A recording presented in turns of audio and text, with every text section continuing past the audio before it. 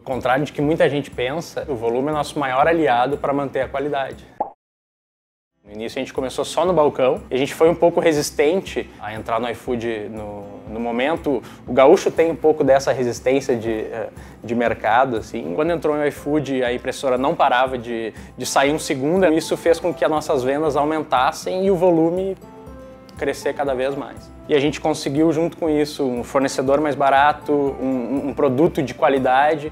E hoje a gente atende 8 mil pessoas e as pessoas precisam cada vez mais uh, de rapidez, agilidade no atendimento e na hora de comer também. A dica que eu dou para ti é foca no teu produto. Foca no teu atendimento, que o iFood prospecta todo cliente e vai te dar um volume gigantesco. Mas tem que ter um produto de qualidade.